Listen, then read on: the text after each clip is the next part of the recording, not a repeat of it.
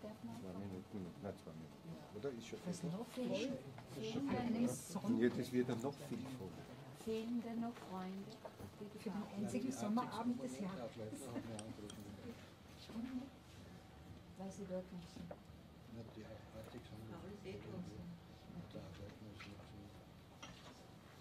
Na gut, dann wir an. Ich darf Sie sehr herzlich begrüßen.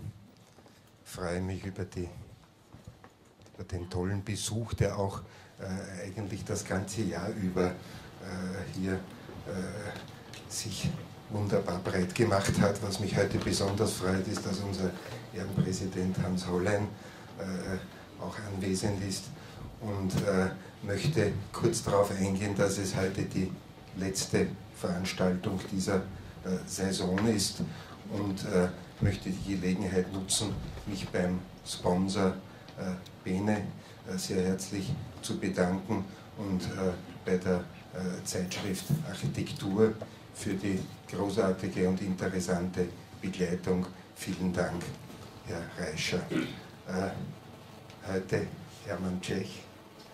Äh, man könnte sagen, seit jeher Kultstatus, hat natürlich auch wieder heute mit äh, dem äh, zahlreichen Besuch zu tun. Äh, ich muss ein bisschen in meine Genau, deswegen bin ich, bin ich, bin ich besonders, besonders vorsichtig.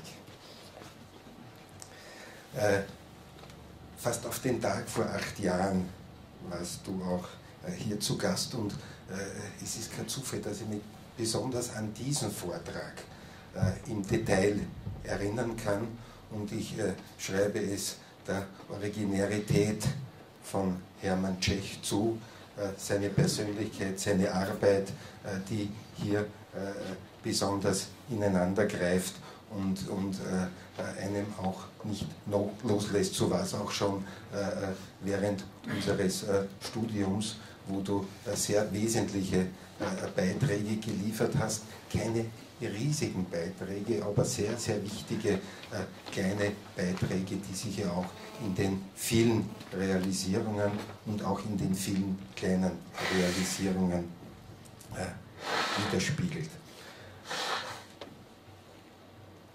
Hermann Tschech wurde 1936 geboren in Wien, äh, hat an der TU und an der Akademie der Bildenden Künste studiert, äh, 71 äh, bei äh, E.A. Plischke äh, diplomiert.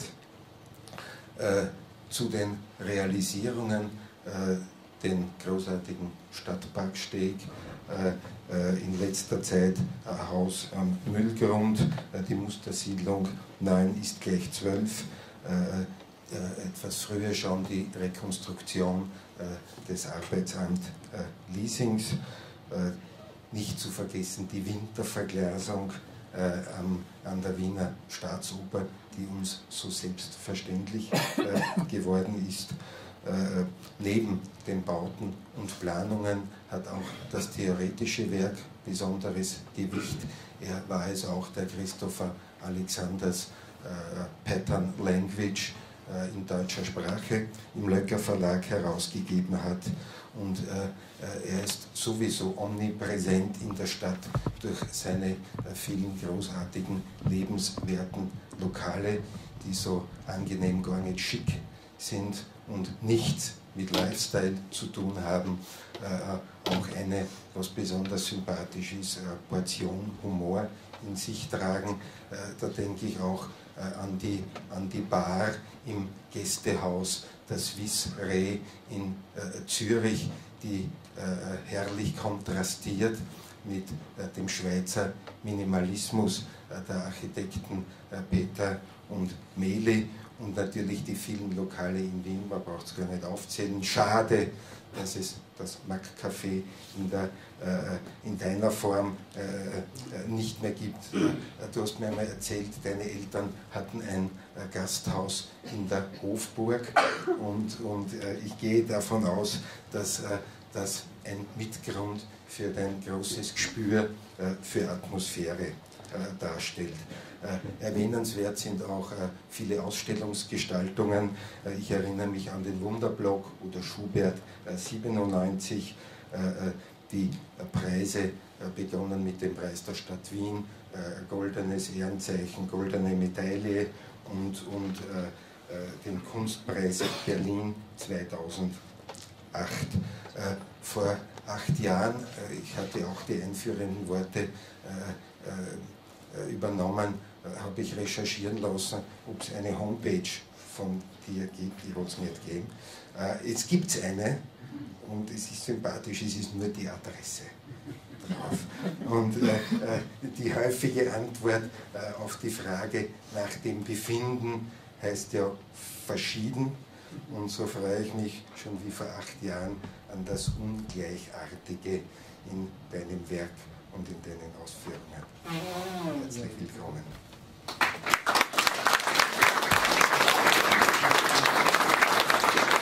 Danke. Ja.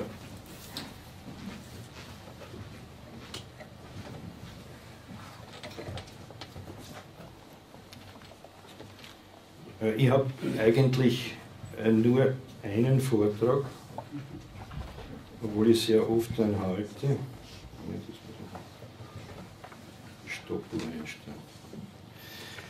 Ähm, der besteht aus verschiedenen Portionen, die sich immer hinten etwas anreichern und vorne fällt etwas weg und dann ist es doch so viel, dass man immer wieder nur äh, verschiedene Blöcke zeigt, aber trotzdem werden, ich habe zwar nachgeschaut und äh, das kann ich, weil ich seit, eigentlich seit, doch seit fast äh, zwei Jahrzehnten die Vorträge äh, auch mit Bildern dokumentiert habe. Also ich weiß, was ich in den letzten Vorträgen in Wien gesagt habe. Ich weiß schon nicht mehr, also ich habe das nicht festgestellt, was ich beim letzten CV-Vortrag Ah, ZV. Beim letzten ZV, Entschuldigung, beim letzten ZV-Vortrag gesagt habe. Aber es werden doch äh, viele von Ihnen einiges wiedererkennen. Ich fange gleich mit einem äh, Projekt an, also mit einem, eigentlich keinem Projekt, sondern einem Statement, äh, das ins Jahr 2000 fällt. In dem Jahr hat.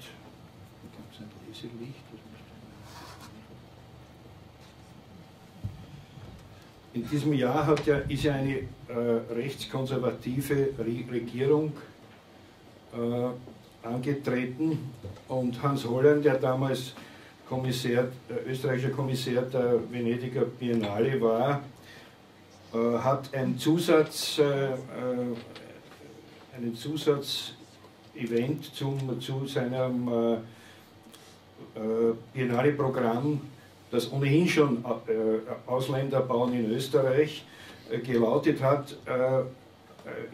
Einige Leute, Ben van Berkel, Sarah Hadid, Greg Lind, Tom Main, Jean Nouvel und aus Österreich eben Adolf Grischanitz und mich, gebeten, ein Statement zum Thema Toleranz zu verfassen, tunlichst, wenn möglich, auf diesem Platz, auf dem sich die, das die Reichs-, also das Regierungsgebäude, äh, das Kanzleramt befindet.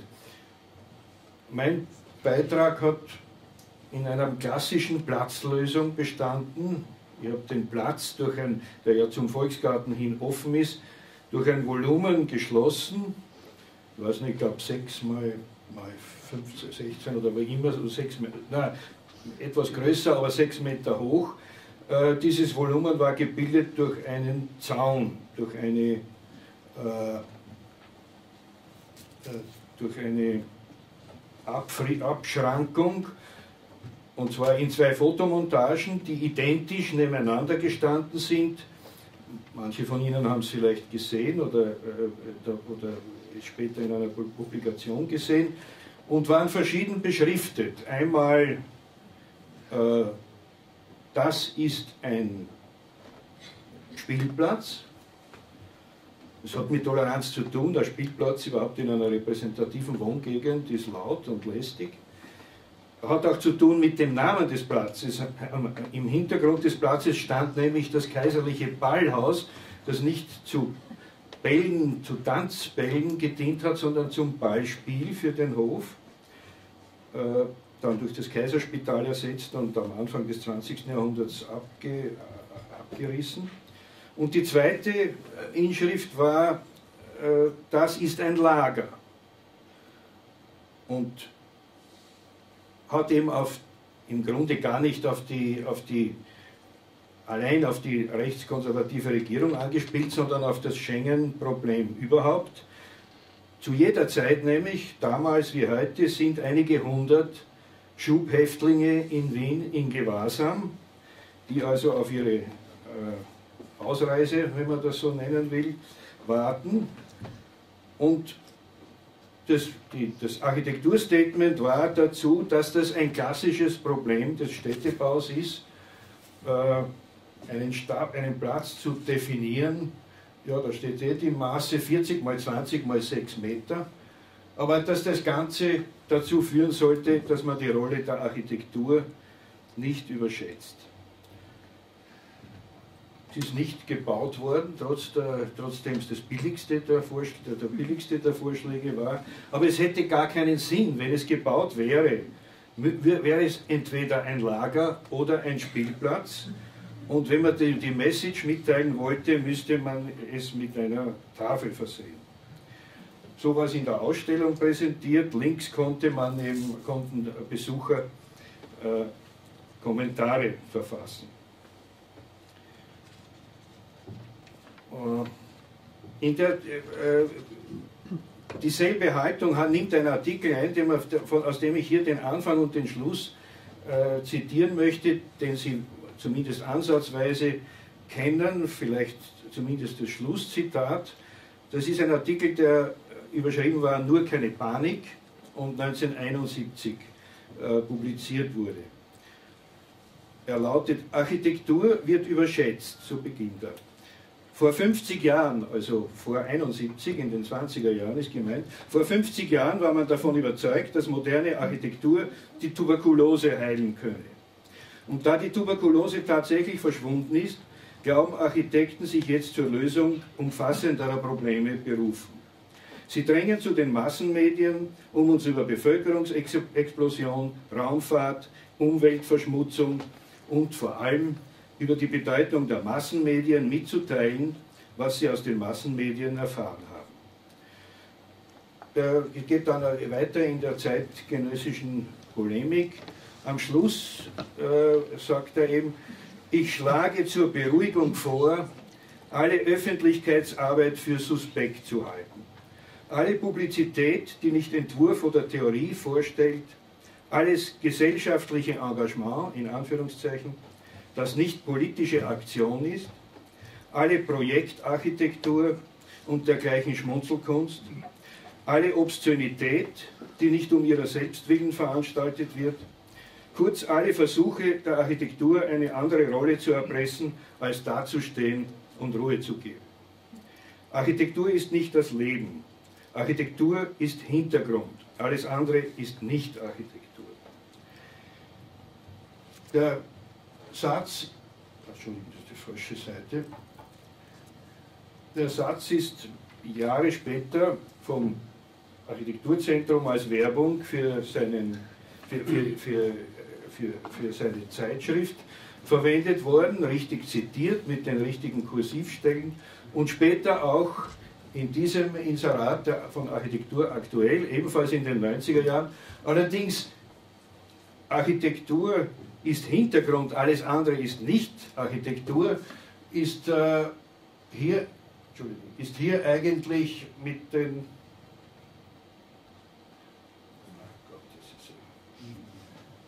äh, in der falschen Reihenfolge, wenn das nämlich einen Bezug zu Hans Hollein hat, dann ist es die Antwort auf dieses frühere Zitat Hans Holleins. Alles ist Architektur, okay, aber alles andere ist nicht Architektur. Der, das, dieses oberste Zitat ist das letzte zeitlich und gibt in dem Zusammenhang keinen besonderen Erkenntniswert.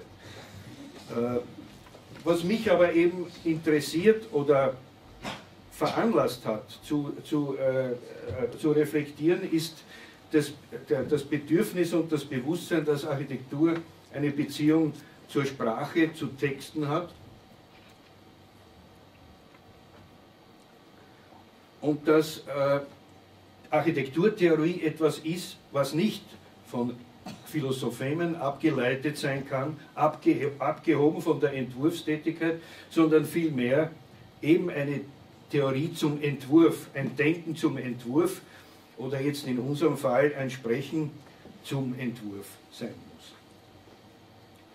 Architekturtheorie, die äh, beim Entwurf helfen soll, muss eben Kriterien bieten, nach denen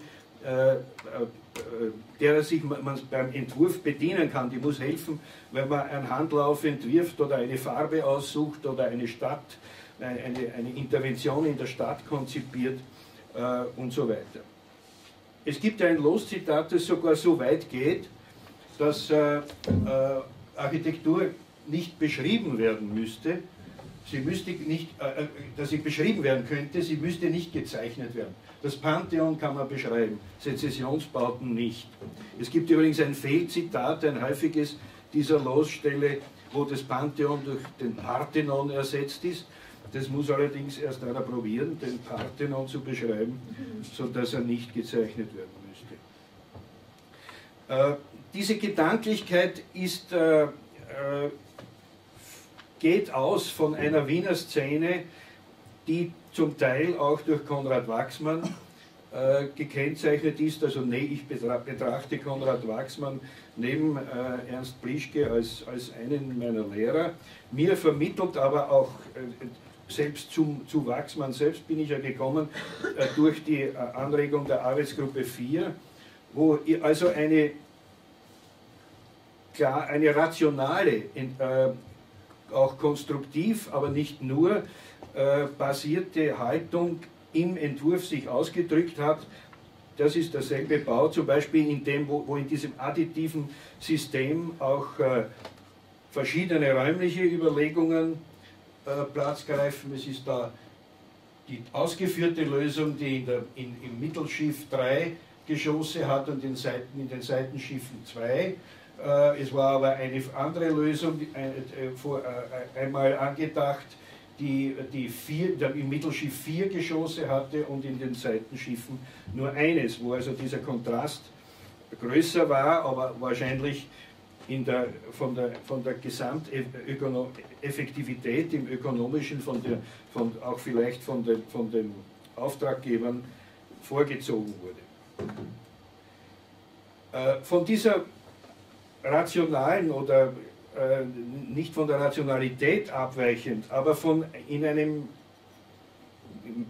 man könnte sagen, Abzweigung oder auch einer Hintanreihung einer, einer an diese, an diese äh, äh Formenwelt oder an diese Gedankenwelt des, des Entwurfs, äh, hat eine Szene, ich denke hier vor allem an, an André Wachsmann, äh, äh Schüler, könnte ich sagen, meiner, meiner Generation, vor allem an Wolfgang Mistelbauer, äh, äh, hat, eine, hat eine Abzweigung oder eine andere Betrachtung stattgefunden, die hier zum Beispiel ansetzt. Das ist die Losbar.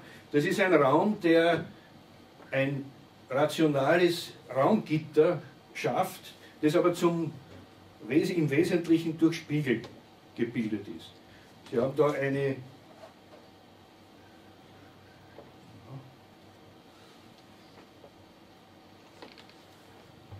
Sie haben da halbe Pfeiler, die sich im Spiegelbild zu Ganzen ergänzen. In, in der Ecke, wo zwei Spiegel aneinander äh, stoßen, ist ein Viertelpfeiler folgerichtig, der sich mit beiden Spiegelbildern zu einem, zu einem quadratischen ergänzt und der also äh, einen, einen virtuellen Raum schafft, der mit dem, mit dem vorhand, tatsächlich vorhandenen Raum ein neues Ganzes bildet. Das ist das kleine Café von 1974, der obere, äh, spätere Teil, wo das, man kann alles toppen, wo, äh, hier, so, wo hier sogar eineinhalb, eineinhalb Pfeiler sich im Spiegelbild zu dreien ergänzen. Und diese, diese äh, Steigerung ist aber gar nicht unnötig oder sinnlos, denn in diesen Spiegeln, die, die sich ja in äh, in, sogar unter Augenhöhe von Stehenden, in der Augenhöhe von Sitzenden befinden, äh, sieht man sein eigenes Spiegelbild. Da ist diese Illusion, die in der Losbar stattgefunden hat, wo als noch wirklich äh, äh, völlig plane Kristallspiegel dort waren, dass Leute nach Tagen oder Wochen gefragt haben, was ist denn da drüben. Äh, das, das ist beim kleinen Café von vornherein nicht möglich. Äh, es wird aber trotzdem die Lage dieses Spiegels äh, verunklärt. Äh, die, die Wand ist dadurch äh, mehrschichtig, auch durch die Anordnung der Lampen, und es ergibt sich ein Raum, der äh, in, sich fortsetzt und nicht nur jetzt virtuelle Räume daneben schafft, sondern auch in dieser, in der Ebene selbst, in der Wandebene selbst eine Unklarheit schafft, äh, wie viel, äh, also wo diese, wo diese Ebene wirklich liegt. Nun haben Spiegel in einem äh, Raum tatsächlich eine physische Wirkung.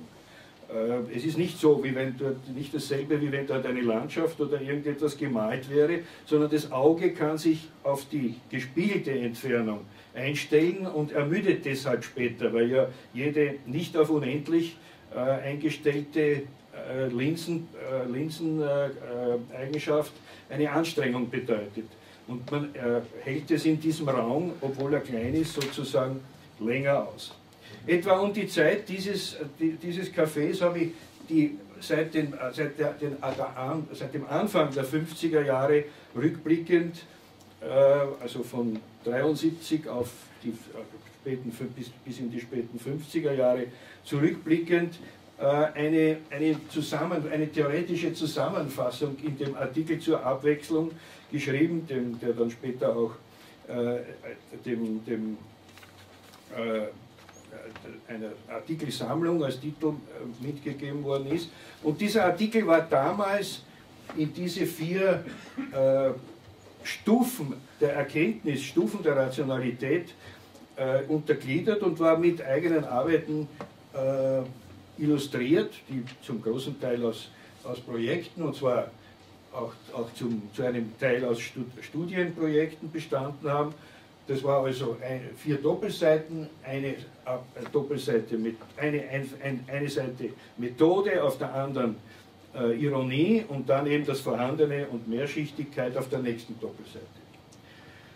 Ich gehe nicht näher auf diese Stufen ein, aber Sie sehen, dass da in dem, äh, schon allein in dem Ansatz Ironie eine Aufhebung dieser, dieser strengen Rationalität ist. Man hat sich da mit Dingen äh, wir haben uns ja da mit Dingen beschäftigt, wie Entwurfsdaten quantifizierbar sein könnten, wie, die, wie man, wie man äh, also zu rationalen Entscheidungen im Entwurf kommen könnte, dass das aber nicht alles ist. Also ein, ein Beispiel aus dem Text ist, man kann, eine, man kann die Oberfläche einer, äh, also eine, die Oberfläche, kann, eine Oberfläche kann man beschreiben, die Reflexionseigenschaften einer, Ober, einer Oberfläche kann man äh, quantitativ beschreiben, wie viel sie und welche, äh, zu welchem Grad sie äh, richtungsgenau reflektiert. Äh, aber wenn, man, wenn es wirklich ein Spiegel ist, dann ist diese, Quant, diese Quantifizierbarkeit äh, verwandelt sich in eine Qualität. Dann ist et, einfach etwas anders. Und vor allem hat diese, haben diese Gegenüberstellungen, also da hier, Entschuldigung, da hier sind zum Beispiel aus, einem, aus einer Arbeit, aus einem Restaurant von, von Mistelbauer, Nohal und, und mir, sind da zwei Details gegenübergestellt, die auf ganz verschiedenen Ebenen liegen. Äh, das, das, eine ist ein Stoff von, äh, das eine ist eine Tapete von Josef Hoffmann, das andere ist ein Stoff von Josef Hoffmann, verwendet auf einem Sessel von Josef Hoffmann, aber aus ganz verschiedenen Zeiten. Die Tapete ist von 1913, der Sessel ist aus den 30er Jahren und der Stoff ist von 1904. Also das war kein Hoffmann-Lokal, auch weder, weder, imitiert noch, noch, äh, noch äh, fiktiv, also das, eine, eine, eine, solche Kombination hätte Hoffmann selbst nie getroffen. Aber es war zum Beispiel die Beleuchtung in einer, auf einer ganz anderen Ebene, angesiedelt mit einem Beleuchtungstechniker, der äh, der bei Badenbach gearbeitet hat, Rudolf Schnitzer, mit einer Ausblendung unter 60 Grad und unter Verwendung nur dieser Rasterstege, die tatsächlich notwendig waren, während damals übliche Bürobeleuchtungen unter 30 bis maximal 45 Grad ausgeblendet waren. Aus dem Ganzen ist dann etwas entstanden, das diese Dinge kombiniert hat, die man eigentlich auch selbst, so sehr man das wollte, in der Atmosphäre vorher nicht nicht äh, sich, äh, sich vergewissern konnte. Oder auf der, auf der anderen Doppelseite gibt es da zwei Details gegenübergestellt. Das ist ein, äh, ein Detail aus, aus, dieser, aus diesem Überdeckungsprojekt des, des Grabens und auf der anderen Seite ist ein klassisches Gesims aus dem, aus dem äh, selben älteren Teil des kleinen Cafés. Äh, das ist diese Grabenüberdeckung, das ist der Punkt, der da im Detail äh, dargestellt ist. Und im anderen Detail ist eben die Überlegung dargestellt, wie man zu dem Gesims gekommen ist, das nämlich zunächst ein Palladio-Gesims sein sollte und dann eben eines von Alberti geworden ist, äh, das also viel harmloser und, und äh, wie soll man sagen, äh, einfacher ist, während das Palladio-Gesims selbst schon so manieristische Verzerrungen gehabt hätte, dass es in Holz wiedergegeben einen bühnenbildartigen Effekt gehabt hätte.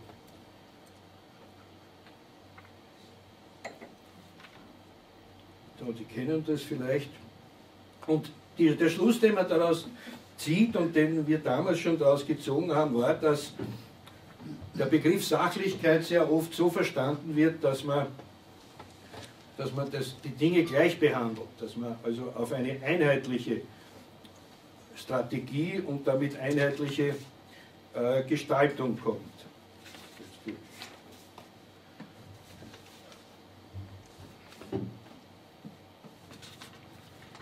Und in, in, Wahrheit aber hat Architektur mit so vielen verschiedenen Sachen zu tun, die eben verschieden sind und nicht gleich sind. Und wenn ich äh, die, dieses, jede dieser Sachen eben nach ihrer Eigengesetzlichkeit äh, betrachte und sich entfalten lasse, dann ist der, der, der Ansatz und das Ergebnis von Sachlichkeit äh, eben nicht, nimmt das jetzt voraus, diese Erkenntnis, nicht Einheitlichkeit, sondern im Gegenteil äh, Heterogenität. Es gibt dazu ein Loszitat, das ich sehr gern habe. Man will eine steinerne Kirche haben, gut, man geht zum Steinmetz. Man will eine Rohbaukaserne, die macht der Maurer. Man will ein Stuckwohnhaus, man gibt dem Stuckateur den Auftrag. Man will einen hölzernen Plafond im Speisesaal, den macht der Zimmermann. Ja, aber, so wird man einwenden, wo bliebe denn dann die gleichartige künstlerische Durchbildung? Ich leugne die Notwendigkeit einer solchen. Das ist ein Text von 1898.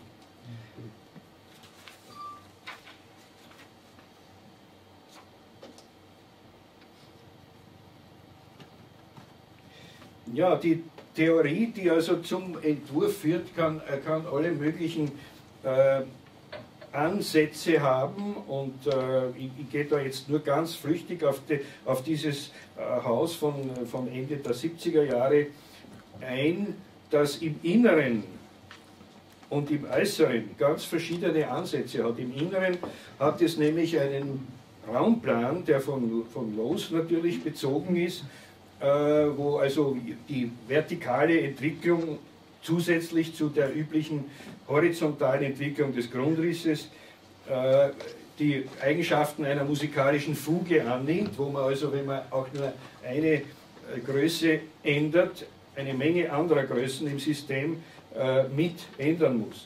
Sondern ich gehe da auf das Äußere ein, wo also die die, die umgebende Siedlung in ihren, und zwar nicht nur die, die ursprüngliche Siedlung aus den 1940er Jahren, das ist also eine Nazi-Siedlung, sondern die Umbauten, die in den Jahrzehnten seither stattgefunden haben und mit denen, dass man sich auch mit denen beschäftigt, äh, wo also Dinge, äh, wo man sich also mit Dingen auseinandersetzen muss, wenn man nicht der Meinung ist, dass seine eigene Architektur so äh, zeitschöpferisch ist, dass sowieso die ganze Welt äh, in dieser Richtung geändert werden müsste, sondern man eher äh, die, die, Auf, die, Auffassung verfolgt, dass es eine Intervention ist, die man macht, die bestenfalls eine Umdeutung, vielleicht eine Steuerung oder so etwas darstellen kann, dass man sich also mit diesem Thema auch auseinandersetzt. Und diese Skizzen zeigen zum Beispiel, wie, wie in diesen äh, mit, mit diesen Mitteln da zum Teil hilflos gearbeitet wurde. Das ist das Haus im, im Ergebnis, wie es also in dieser Siedlung steht. Da sieht man da ziemlich den Charakter, den diese Siedlung hat. Es hat schon den Charakter eines Umbaus. Eine Bekannte hat mich damals gefragt, ob, ob ich da einen Umbau oder einen Neubau ma mache und ich habe hab damals zur Antwort gegeben, es ist ein Neubau, aber ich bringe es schon zusammen, dass es ausschaut wie ein Umbau. Es, hat, es, ist, hat, es äh, schafft eine Kombination eines Steildaches und eines, eines Flachdaches, eines Sattelsdaches und eines Flachdaches, so etwa wie wenn der Vater an das Haus des Großvaters etwas angebaut hätte. Äh, aber wir sehen, dass sich da die Theorie etwas, äh, etwas anreichert. Es ist also nicht nur ein Denken zum Entwurf, sondern es stellt sich dann auch die Frage, wie, wie etwas ausschaut. Also wie, das ist ja auch ein Bestreben, das auch mit der Erfahrung als Architekt äh, zu tun hat. Äh, wie, was kommt da heraus bei meinen Überlegungen? Für, für äh, jemand, der wenig Entwurfserfahrung hat, ist ja sehr vieles eine Überraschung. Vor allem ist eine Überraschung, wie oft andere, wie oft andere Leute auf den Entwurf, auf das Ergebnis reagieren und was sie da sehen. Die sehen unter Umständen Absichten, die man gar nicht gehabt hat. Äh, äh erst also durch eine laufende Erfahrung ist, äh, ist dann das aus, etwas zu bessern und ist diese, ist diese äh, Gesamtwirkung besser vorwegzunehmen. Äh, dieses Ausschauen und diese verschiedenen Ebenen, also zum Teil eben wie im vorigen, in dem vorigen Beispiel das technische, äh, das technische Funktionieren, das maschinelle Funktionieren sogar und das äh, äh die, die Außenwirkung, die etwas als, als Gegenstand oder als Raum hat, ist an dem Beispiel ganz illustrativ. Das ist ein Wittmann-Wettbewerb für ein an sich nicht sehr äh, erfolgreiches äh, Betten, äh, Bettenprogramm, nämlich ein Bett zu haben, das einerseits ein, ein gültiges, brauchbares Sofa darstellt, wo ich also eine Lehne habe und eine sinnvolle Sitzbreite, wo aber aus demselben Gerät ein Bett eine, eine, äh, also ein, ein, Bett von normaler Breite oder sogar mit einer, Aus, mit einer Ausklappung ein Bett von einer größeren Breite äh, möglich ist. Äh,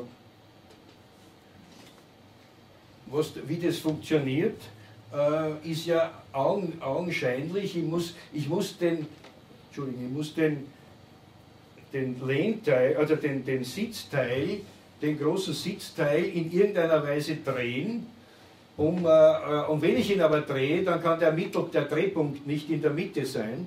Und ich kann ihn aber nicht so drehen, dass ich, äh, ich kann ihn nicht so drehen, dass ich, wenn der Drehpunkt in der Mitte ist, dann wäre das Bett zu breit für die, für, für die normale Sitzhöhe, um, um äh, über den Boden durchzukommen.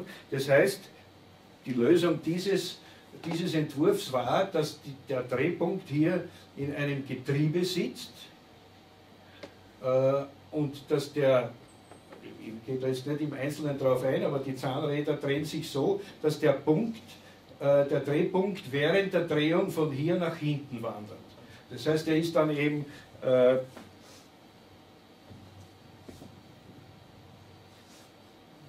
er ist dann eben so, dass, er, dass das Bett wieder in der richtigen Entfernung zu, zur Wand äh, steht und äh, äh, und eben aber und, und außerdem noch das Bett gewendet ist, sodass das eine andere Oberfläche und eine andere Bespannung des Bettes nach oben gelangen kann. Aber was daran äh, äh, bemerkenswert ist jetzt in dem Zusammenhang, den ich sagen will, ist, dass, dass das eine, dieser, dieses Gehäuse für, die, für das Getriebe ganz zwangsläufig oder ganz äh, naturgemäß ausschaut wie eine klassische Armlänge.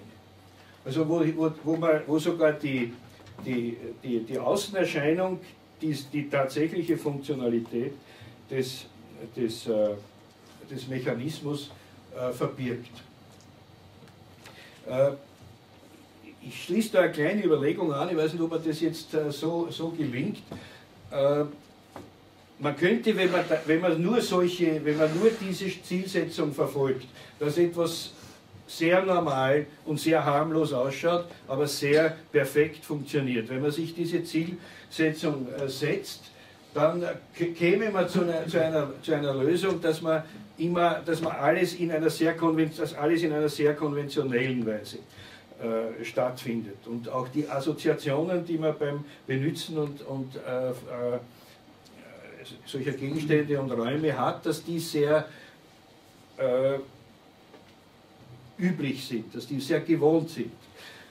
Äh, ich habe, sehr, hab eine sehr interessante äh, Stelle, um gerade um das ein bisschen aufzuheben auch, also das ist auch nicht die einzig mögliche Ansicht. Das ist ein, ein Zitat äh, von, von, aus einem Interview von Igor Strawinski. Also der, ein, eines Musikers, der ja gerade sehr viele seiner, seiner Aspekte aus der klassischen oder aus jedenfalls aus historischer Musik geholt hat, der also äh, durchaus kein, nicht ausschließlich ein Neuerer war. Und der sagt auf die Frage, äh, äh, oder auf, die, ja, auf diese Frage, wo der Interviewer wieder Valerie zitiert, ein methodisches Gestalten ist ohne Verwendung herkömmlicher Ausdrucksmittel nicht möglich. Wie können wir diese Prinzipien beispielsweise in Webers Lieder für Klarinette und Gitarre erkennen? Und Strawinski sagt überhaupt nicht. Diese Lieder beruhen auf einem völlig neuen Gestaltungsprinzip, das erst im Laufe der Zeit erkannt und dann zu einem herkömmlichen Begriff werden wird. Aber in Valeries vorwiegend klassischen Geboten wagt die Schaffung neuer Ausdrucksmittel nicht beschlossen. Das ist also eine Perspektive, die man sich ebenfalls vorhalten muss.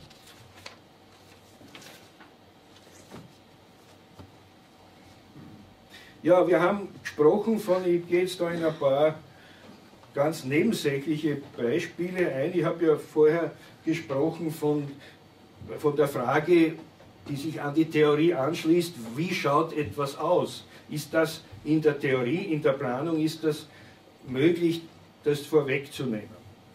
Und äh, sehr oft ist es sinnvoll, dass etwas nach nichts ausschaut, wie eben zum Beispiel eine Feuermauer in einem Haus. Das ist eine, äh, eine Feuermauer in einem barocken im Wesentlichen barocken, aber in, in weiten Teilen bis ins 14. Jahrhundert zurückgehenden Haus am, am Hof äh, der Fall gewesen. Und zwar ist diese, Feuer, ist diese Feuermauer da schon irgendwie äh, behandelt worden, schon als nämlich dieses Haus, das urspr wo ursprünglich ein Bau in dieser Flucht stand, Ende des, äh, also um 1900 oder Ende des 19. Jahrhunderts auf zurückgesetzter Baulinie neu errichtet wurde. Da hat sich der Architekt dieser, dieses Gebäudes gedacht, diese Feuermauer kann man nicht so stehen lassen und hat da eine solche äh, Gliederung vorgeblendet. Äh, und so eine Feuermauer, äh, nachdem das jetzt öffentliches Gut geworden ist, konnte, konnte da, konnten auf dieser Front auch Fenster gemacht werden, die zum Judenplatz oft sogar interessantere Ausblicke ermöglicht, ermöglichen als die klassischen Fenster auf dem Hof hinaus. Und, und solche, solche Dinge gibt es in Wien vielfach. Das sind allein zwei äh, Feuermauern aus der Weiburggasse, die also in irgendeiner Weise durch Fenster äh, gegliedert worden sind und etwas Ähnliches habe ich mir da auch vorgenommen. Also eine Fassade, die keinen eigenständigen Wert hat, auch kein, äh, in keiner Weise irgendetwas repräsentiert als eben ihre Unbedeutung. In dieser, in dieser Fassade, vor allem in diesem Geschoss hier, äh, hat sich aber dann während der Bauarbeiten Folgendes herausgestellt.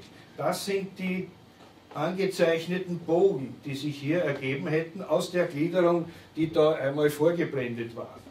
Was man aber da sieht, ist, dass da drinnen ein älteres, aus dem 14. Jahrhundert stammendes Fenster für eine Fensterumrahmung äh, besteht.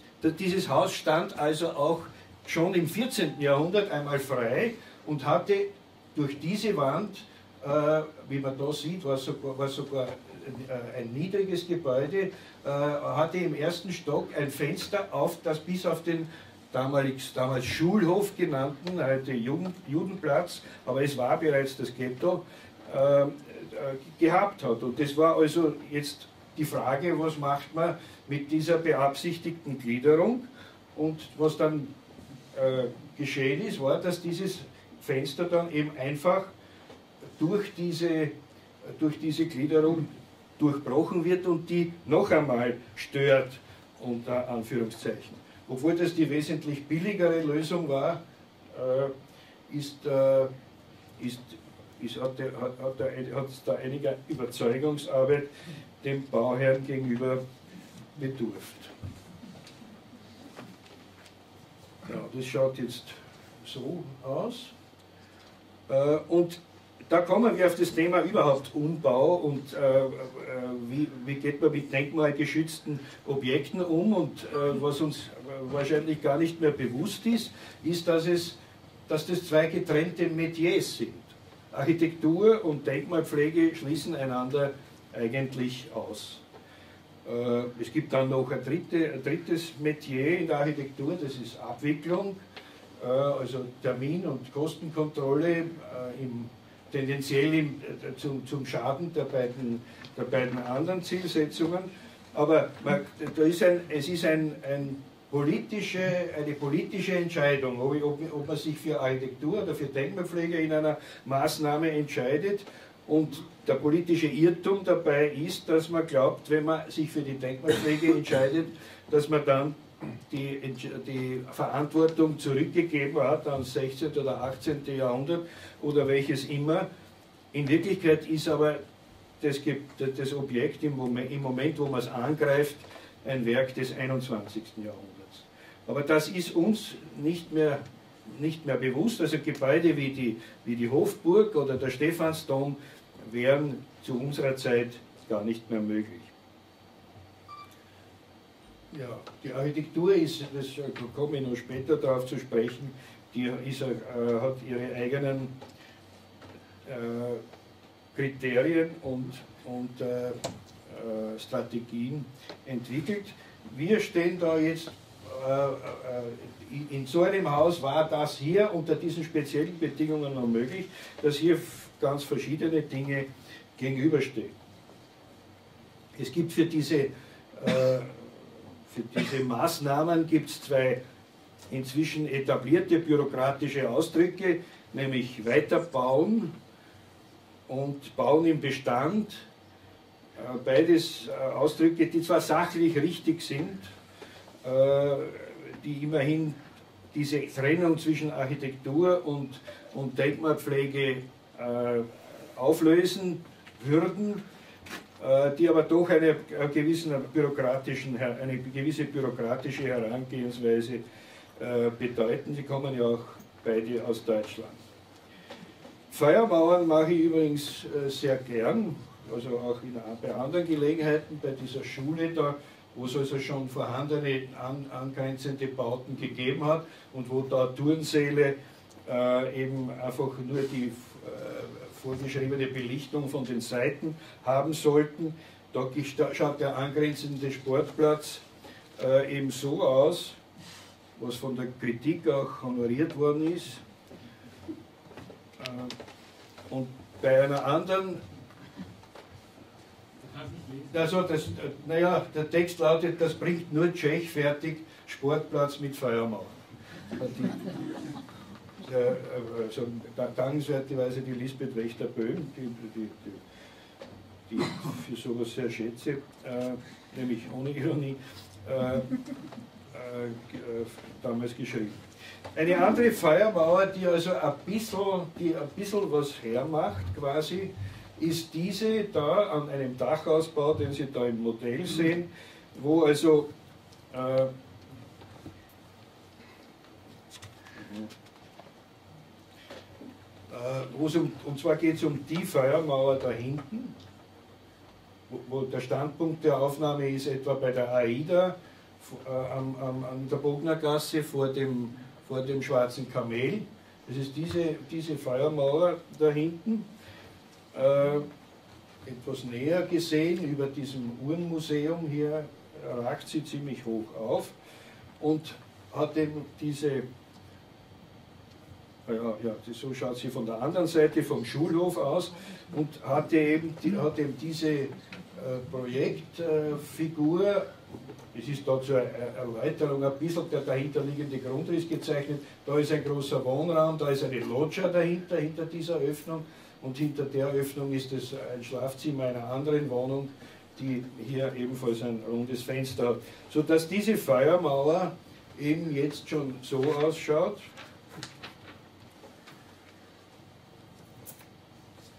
Ja, äh, eine weitere, ja, äh, etwas, was noch nicht, auch was nach nichts ausschaut, zunächst ist dieser, dieser, äh, dieses Lageschema von äh, Adolf Grischanitz für, die, äh, für diese sogenannte Mustersiedlung Hadersdorf, also eine Betonsiedlung, an die Sie sich vielleicht erinnern, die vor mehreren Jahren äh, fertig geworden ist, wo also auf, dieser, auf diesem Lageplan drei deutsche, drei Schweizer und drei österreichische Architekten gebaut haben. Und ich zeige das deshalb, weil ich erst vor kurzem draußen war. Mein Haus steht da oben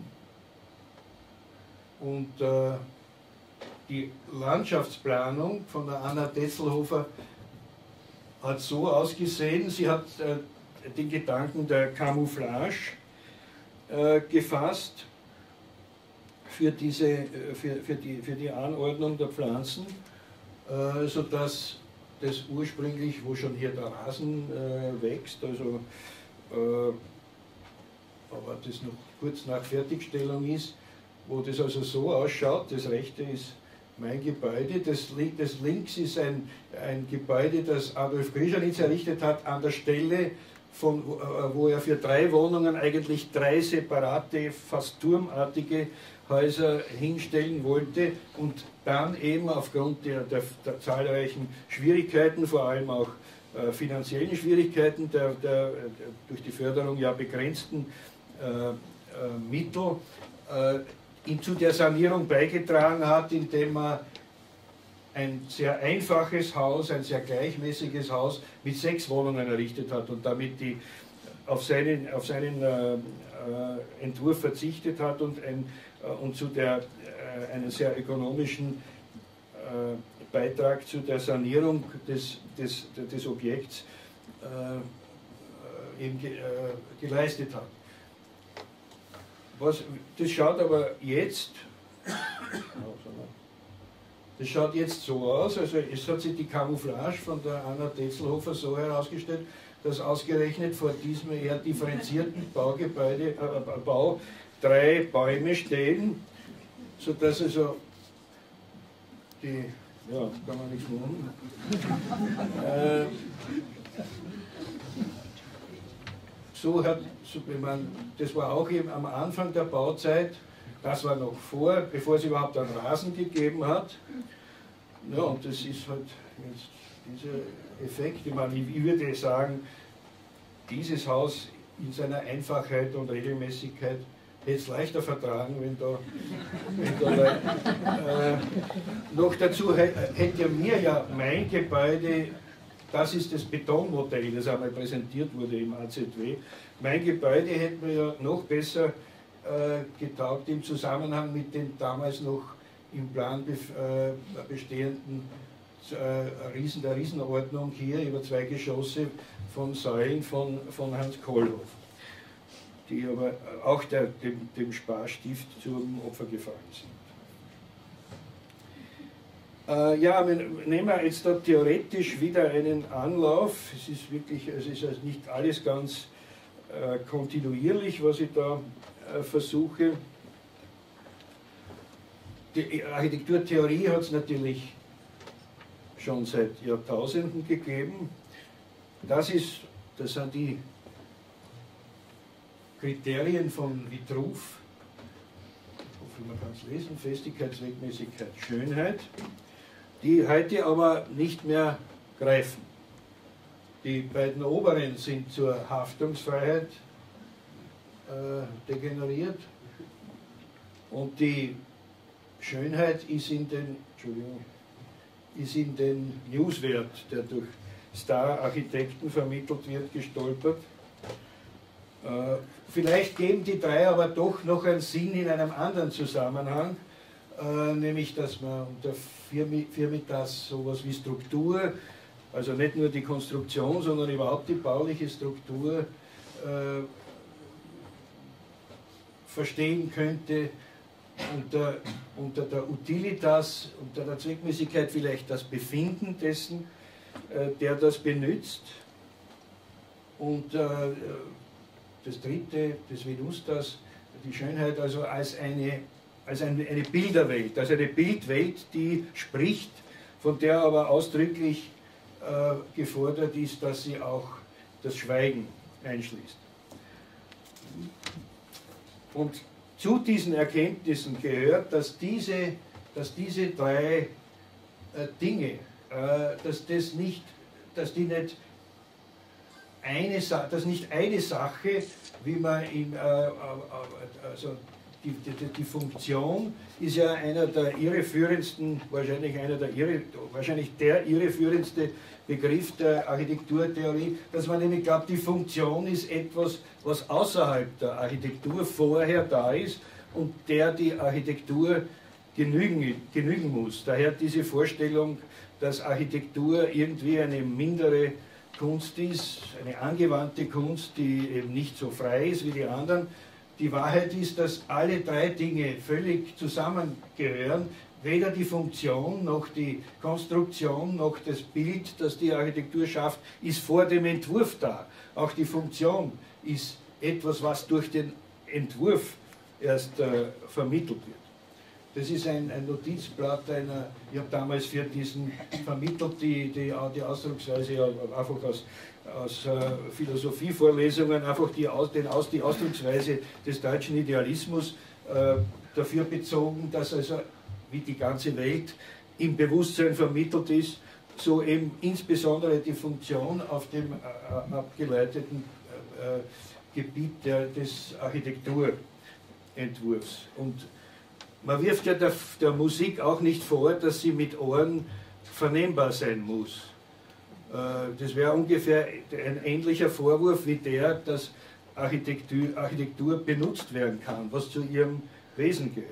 Es gibt natürlich in der, auch in der Musik die, die Fälle der Stille und des schmerzenden Lärms, äh, ähnlich wie es extreme äh, Haltungen zur Funktion gibt, aber an sich ist das, ist das ein, das Wesentliche, ein wesentliches Material der Architektur, nämlich wie sich Leute in, der, äh, in ihrer Benutzung äh, verhalten und, und befinden.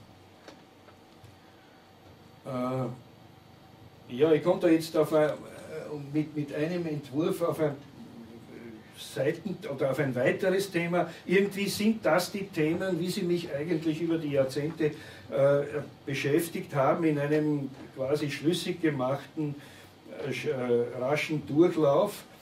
Äh, das ist ein, ein, ein, äh, eine Siedlung äh, am Mühlgrund von, von Grischanitz, dieser Teil ist von Krischanitz, ah, Entschuldigung, dieser Teil ist von Krischanitz, Neuwirt, also alphabetisch müsste man sagen, vom Norden her, Neuwirt, Krischanitz und Tschech, die, der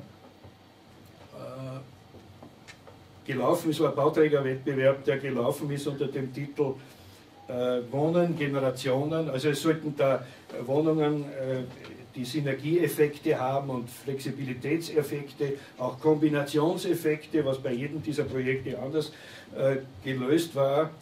Der Werner Neuwirth, der Jüngste, hat bei der Präsentation jetzt präsentiert und hat äh, äh, vor der Jury gesagt, wir haben das verwechselt, wir haben glaubt, die Architekten sollen verschiedene Generationen haben. Und äh, Das schaut, also mein Teil schaut, jetzt schaut so aus.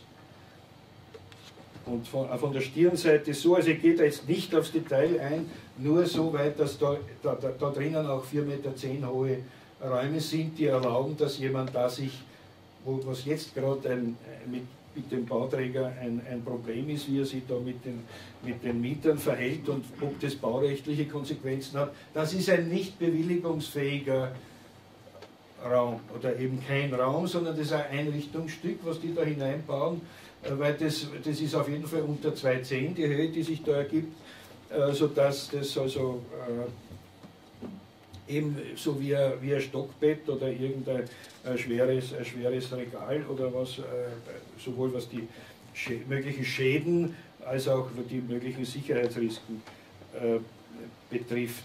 Das ist aber ein offenes Problem, das man, das man lösen muss. Ich glaube, der Gerngroß hat einmal eine, eine Loftsiedlung gemacht, wo, wo, wo aber die, die Raumhöhe tatsächlich zwei Geschosse erlaubt hat. Ich weiß nicht, das, vielleicht kann er uns das erklären, ob damals jeder Mieter, der sich die Decke hineingebaut hat, eine Baueinreichung erwirken musste. Das weiß ich auch nicht mehr. Gut, das schaut also jetzt so aus, aber ich will ja eigentlich auf was anderes hinaus. Das, äh, das Objekt geht davon aus, dass die Leute dort noch etwas machen. Also die können sich, insbesondere wenn man vertikal die oberste, die oberste, das oberste Staffelgeschoss mit der mittleren Wohnung zusammenlegt, dann hat man überhaupt ab der dritten Stufe die Höhe, die, die, das, die, die, die diese Galerie haben kann, die man nicht Galerie nennen sollte, sondern eben irgendwas. Also äh, es geht davon aus, dass die Leute dort etwas machen, sich da was einbauen und äh, dass sie, also das ist, worauf ich hinaus will, ist das Thema der Partizipation, die ja hier gewollt ist. Also die Partizipation in den 70er Jahren hat ja weithin von, der, von dem Selbstverständnis bei den Architekten äh, gelebt, dass der Architekt sich zurücknimmt, keinen Ausdruck schaffen will, sondern den Ausdruck eben dem Nutzer überlässt. Und das ist meiner Meinung nach nicht möglich. Ich glaube, wenn jemand das über Jahre behauptet, dann ist er entweder dumm oder verlogen. Äh, die, es ist natürlich ein, eine, eine Leidenserfahrung, wenn der Mieter eben oder der Nutzer, Nutzer eben etwas macht, was der Architekt nicht äh, vorhergesehen hat, was zu der Variabilität und Flexibilität, äh, die der Architekt vorher, die geschaffen hat und die er, die er begrüßt, wenn, wenn da, die, die das übersteigt und entsteht. Und äh, es ist klar, dass, der, dass da ein, ein, Mieter natürlich da innen alles Mögliche hineinbaut. Das wird immer ja noch im Sinne dieser Selbstentfaltung, die eine Wirkung der Architektur ist, die man, die man ja beabsichtigt hat, äh, also die dem entspricht, aber dann geht es natürlich weiter. In meinem Fall haben die beiden, also sowohl die mittlere wie die untere äh, Wohnung auf jeder, jeder der Seiten äh, Mietergärten, eigene Mietergärten und die werden halt dann tatsächlich benutzt und äh, äh, weitergebaut im, äh, in dem, im Sinne dieses Fachausdrucks. Das schaut also dann zum Beispiel so aus. Vorher und so nachher. Und was der Architekt da ent, äh, erfährt, ist ein, eine nicht angenehme Erfahrung. Äh, beim Teil, Bauteil Grischanitz, dort ist in der Mitte sind keine Mietergärten, sondern dort ist ein allgemeines Grün, das auch für Versammlungen dient. Äh, also der Grischanitz ist da etwas strenger und aber das ist ein Problem, auf das ich eben hinaus will, dass jemand, der von Partizipation redet, dass der sich auch damit beschäftigen muss, was Partizipation ästhetisch bedeutet. Und zur Illustration äh, zeige ich dann einen Wettbewerbsentwurf von 1975, äh, an dem neben mir auch Elsa Prohaska und Franz Kneißl mitgearbeitet haben. Äh, für Neumarkt in, äh, bei Salzburg, für, dies, für das da im Vordergrund gekennzeichnete Areal, eine, eine, eine, Siedlung, bei der die Neubauten so ausschauen und bei der unser äh, Vorschlag eben aus einem Einfamilienhaus, das tatsächlich, das ist ja ein Kennzeichen, dass, dass viele Häuselbauer eben schätzen, dass sie um ihr Haus herumgehen können und deshalb mit einem Reihenhaus im Prinzip nicht äh, zufrieden sind, dass, dass man also auch über die hier etwas dichter zu einer Vierergruppe zusammengestellten Häusern in der Mitte einen gedeckten Schluf hat, der informeller ver verwendet werden kann, der aber nicht zum eigenen Haus gehört, sondern sich vom, von dem, vom, vom Nachbarn abgrenzt, auch wenn dort Kinderwegen oder, oder Fahrräder gelagert sind. Ich gehe dann, also das war diese, äh, diese Siedlung in einer Fotomontage gezeigt. Nun mussten wir natürlich, wir haben ja da auch auf Selbstbau äh, gesetzt, wir mussten da ja Fassaden entwerfen für einen, für einen äh, Wettbewerb. Und haben eben neben der technischen, modularen äh, Realisierbarkeit eben auch an den Selbstbau gedacht und haben dazu Fassaden entworfen, wie sie aussehen könnten oder wie wir uns gedacht haben, was die äh, Mieter oder Nutzer da eben machen würden. Interessant ist, dass das natürlich, das sind Klischees der Anfang, der, vom Anfang der 70er Jahre. Es ist interessant, dass man die Klischees der eigenen Zeit eigentlich gar nicht distanziert erfassen kann. Das funktioniert immer mit Klischees, die gerade so fünf Jahre alt sind.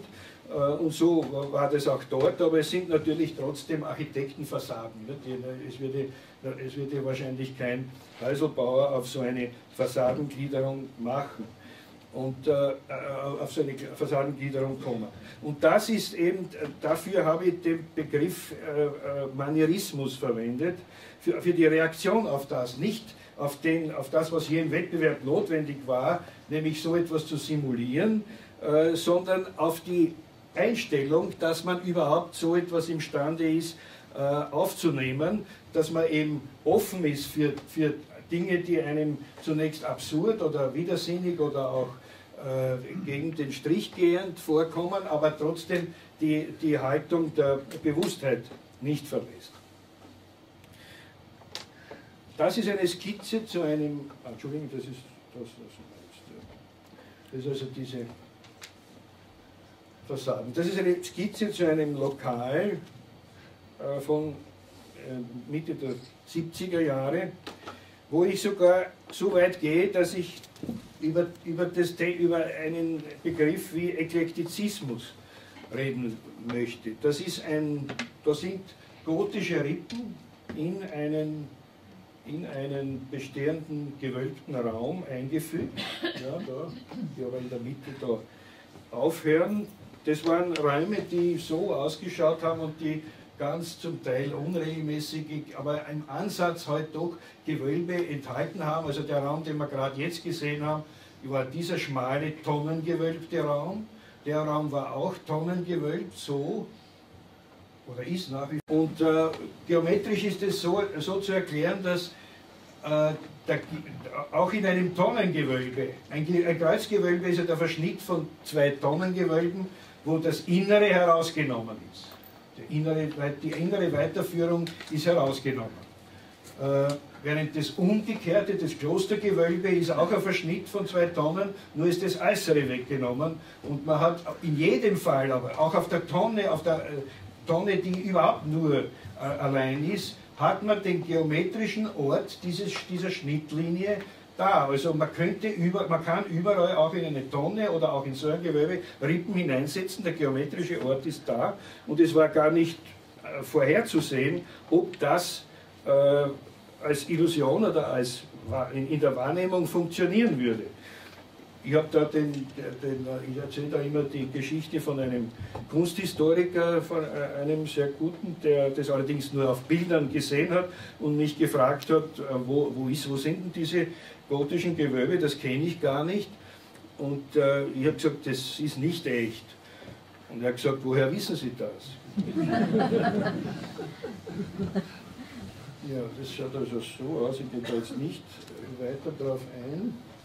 Äh, aber so etwas wie auch wie, das ist also, was da geschaffen wurde äh, oder erzielt, also angestrebt und auch erzielt wurde, ist eine gewisse Regelmäßigkeit, die auch damit zu tun hat, dass zum Beispiel der Spiegel da, der hier die, die Klotüren äh, etwas von der Bar äh, etwas weniger streng macht, dass da die Klotüren direkt neben der Bar sind, dass der Spiegel, der die da ver verschleiert, dass der extra aus der schrägen, wenn Sie sich erinnern, waren sind die Räume ja alle rhombisch, also verzogen, dass der aus der schrägen Ebene herausgedreht ist, sodass sich dieser Bogen in dem Spiegel wirklich axial spiegelt, der ja sonst irgendwo anders verschoben wäre. Diese, äh, diese Ordnung, die da irgendwie äh, äh erzielt wurde, äh, bleibt auch nach nach Jahren des Gebrauchs erhalten. Aber es ist eine, ich will nicht sagen, dass das nicht auch riskant ist in seiner, in seiner Wahrnehmung. Aber es kann Dinge liefern, die man sonst, die man sonst gar nicht erzielen könnte. Ich gehe da auf noch einen solchen, äh, auf ein Beispiel des Eklektizismus ein. Das ist das kleine Café. Es geht um diese beiden Phasen, als in diesen Raum hier diese jetzt bestehenden Klosetts eingebaut wurden. Die liegen tiefer als dieses Niveau und etwas höher als dieses Niveau. Aus diesen vier Stufen hier, vom unteren in den oberen, ins obere Lokal, musste man hier also abzweigen und hier zwei Stufen hinunter machen, wo hier vier Stufen hinuntergehen. Das heißt, dass diese Stufe, diese mittlere Stufe da durchgeht. Dass da also ein, äh, ja, ein, ein, man sieht es da etwas genauer, also das ist das Klo, aber da ist die Stufe, die Stiege, die von unten kommt und dieses, dieser Teil, wo zwei Stufen daher führen zu diesen zwei Türen. Ja, interessanterweise, das, ist also von, das geht also von dem Zustand, wo die Stufen noch vorher sind, zu dem Zustand. Und interessanterweise gibt es in der Architekturgeschichte einen solchen Fall. Ich weiß nicht, ob Sie das erkennen. Das, ist hier derselbe Fall. Man kommt hier herauf und tritt seitlich um diese Stufen herum oder wie immer man da gehen will. Äh, Sie kennen es wahrscheinlich, es ist diese Stiege. Und es hat natürlich gereizt, sich das zu überlegen, ob man da etwas davon anwenden kann, von dieser, von dieser Lösung, die sich da eben auf diesem Punkt da abspielt. Äh, ich habe das sogar dann aufgenommen, einmal Gelegenheit gehabt, das aufzunehmen. Diese, äh, also hier ist das hier sind die Stufen, die man da sieht, ne, die da kommen. Und da unten ist die, äh, da, äh, naja, Moment, wie ist das? Ja, es ist, ist der, es ist, nein, entschuldigen Sie, das ist, das ist vergessen worden umzudrehen, entschuldigen, das hätte Seiten so am Kopf stehen sollen. Ist aber egal. Äh, und da würde man aber jetzt sehen, dass das eine gewaltige, ein gewaltiges Stolperrisiko wäre, wenn man sowas da äh, jemand zumuten würde an diesem Punkt, weil der dort auf keinen Fall, ohne hinzuschauen oder gar im Finstern, äh, diese, diese Stufe passieren müsste und es ist auch dann äh, unterlassen worden, sowas zu machen. Man muss auch auf etwas verzichten können. äh, ein interessantes Detail, so schaut es also jetzt aus, ein interessantes Detail, aber weil wir schon bei dieser Michelangelo äh, äh, Ricetto bei diesem, Vorha vor, bei diesem Vorraum oder äh, Entree zur Laurentianischen Bibliothek sind, ist, was, in keine, was ich in keiner Literatur bis jetzt gefunden habe, was man ja aber auch zunächst nicht anzweifelt, dass diese Anzahl der Stufen hier gleich ist, glaubt man. Äh, ist aber nicht der Fall. Der, er, dadurch, dass er hier so einen, einen Protest macht, das, ist, das sind ältere Formen, das ist erst nach, nach Michelangelos Abwesenheit fertiggestellt worden. Dadurch, dass er hier einen Protest macht, verliert er so viel Raum, dass er da 1, 2, 3, 4, 5, 6, 7, 8, 9, 10 Stufen macht bis zu dieser Ebene. Von hier aber 1, 2, 3, 4, 5, 6, 7, 8, 9, 10, 11. Es sind verschiedene Stufen in diesen beiden, in diesen beiden Stiegen, wo es nirgends steht. Ganz im Gegenteil, es gibt ein Buch von Ackermann, der das offenbar nachgezählt hat und gesagt hat, das kann nicht stimmen und die Stufe da weggelassen. Das ist aber durchaus vorhanden, wie man da sehen kann. Ja, also so weit kann man gehen, meiner Meinung nach ich werde dann, oder ich komme jetzt gleich auf ein Element, auf einen Aspekt zu sprechen, der, der da meiner Meinung nach anders zu betrachten ist. Nämlich das Ornament. Das haben wir ja weitgehend jetzt, dass man äh, das allgemein empfohlen wird, wendet man, wendet man wieder Ornamente an, dann geht es uns wieder gut. Äh, und ja, das hat ein bisschen mit, mit, mit dem äh, etwas beun, also zu Unrecht verwendeten Schimpfwort postmodern zu tun. Das Post, dieses Bashing der Postmoderne ist ja, sehr, äh, ist ja durchaus geläufig in der, in der heutigen, äh, im heutigen äh, populären Diskurs.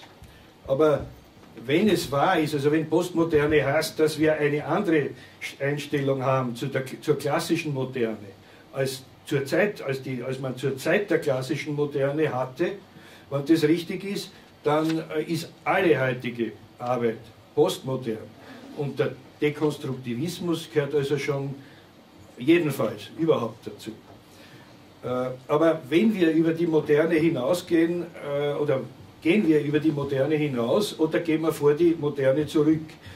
Der, die, die, neue Forderung nach Ornament würde ja heißen, kehren wir zu einer Frage zurück, äh, zu, einer, äh, äh, zu einer Strategie zurück, die es einmal äh, gegeben hat. Äh, das ist das Messehotel von mir von, von 2005 fertiggestellt, wo es also horizontale Streifen gibt, die, den, die, einen, die den, einen kann man sagen, technischen Sinn haben, nämlich dass dieses Aluminium da unbehandelt ist und also blank ist und verwittern soll. Äh, dass aber Fachleute warnen, dass diese Verwitterung auch sehr unansehnlich werden kann. Und für diesen Fall ist das hier aufgehoben, gefasst quasi durch äh, Streifen, die eine, eine Beschichtung haben, die ist also fast schwarz, so Anthrazit, äh, grau sind, sodass, wenn dazwischen eine, eine Verwitterung passiert, die, die man vielleicht nicht gutieren würde, wenn der ganze, äh, wenn der ganze Bau ausschauen würde wie ein alter Kübel, äh, dass das also gefasst ist durch, in einer gewissen Absicht äh, in, in Zonen, die, die also durch diese, äh, durch diese äh, beschichteten Streifen gefasst sind. Und die Streifen, die sind also einen Meter breit ungefähr, diese Bahnen, und ergeben einfach diesen Rhythmus, der sich wie 5 zu 7 zu den Geschosshöhen verhält und die deshalb ein bisschen verschleiert. Ja, also das ist zunächst unklar, wie viele Geschosse das hat. Jetzt gibt es aber dann noch ein anderes Muster. Das könnte man also mit diesen so erklären das und sagen, äh, das ist kein Ornament. Aber ich sehe auch das nicht als Ornament, sondern das ist ein, ein Muster. Das stammt übrigens, äh, ich erkläre es nur kurz, das ist der Zugang von der Messe. Der Haupteingang ins Hotel ist auf der anderen Seite, hier ist auch ein Eingang. Aber das, da sind lauter Serviceräume, äh, die also keinen Eingang erlauben und wo der der von der Messe kommende jedenfalls hier ankäme. Mein ursprünglicher Vorschlag wäre gewesen, dass man da eine Plakatwand macht. Das war aber für den Betreiber nicht vorstellbar und deshalb ist äh, dieses Muster, das ich schon früher von äh, Leo von Klenze gekannt habe, und zwar hat es er verwendet in einem, äh, für, in einem Entwurf für einen Fußboden der Münchner Glyptothek 1825, der aber nicht ausgeführt wurde. Das ist eine ganz äh, äh, watscheneinfache Geometrie, die aber bei dieser Ausfüllung ein ganz mysteriöses irritierendes Muster wie ein Zyklopenhaufen äh, schafft und das mir, das mir sehr, das ich, das ich eben hier äh, angewendet habe. Jetzt könnte man sagen, wenn ich sage, das ist kein Ornament, sondern das sind Muster mit bestimmten Rollen in bestimmten Wahrnehmungszusammenhängen. Jetzt könnte man sagen, das ist ein unnötiger Streit um Worte. Äh, ja, ist das man müsste dann eben äh, daran erinnern, dass das, äh, äh, dass das Ornament ja nicht zufällig oder irrtümlich verschwunden ist, sondern dass es äh, bekämpft wurde. Und zwar aus kulturellen Gründen, nicht nur aus ökonomischen, wie Adolf Loos äh, das auch gemacht hat. Äh, für Karl Kraus war das Ornament gleichzusetzen mit der Phrase im Journalismus. Äh, ich lese da kurz vor, der, äh, das ist äh, Karl Kraus 1909, der Verschweinung des praktischen Lebens durch das Ornament, wie sie Adolf Loos nachgewiesen hat, entspricht jene Durchsetzung des Journalismus mit Geistelementen, die zu einer katastrophalen Verwirrung führt. Die Phrase ist das Ornament des Geistes. Und später, die Phrase wird nicht abgeschafft, sondern in den Wiener Werkstätten des Geistes modernisiert. Äh, würde man jetzt, äh, ist es berechtigt, das, also würde man zum Beispiel mit derselben Unbefangenheit, mit der heute für das Ornament äh, gefordert oder verteidigt wird, würde man genauso die Phrase wieder einführen, wenn sie je verschwunden wäre. Oder gibt es nicht eher eine andere Überlegung, die, es ist nämlich so, dass äh, das Los war zwar gegen das Ornament, aber das ist äh, sein. Ist, äh, wenn, wenn er meint, das Ornament ist das, was man weglassen kann, so stimmt das heute noch.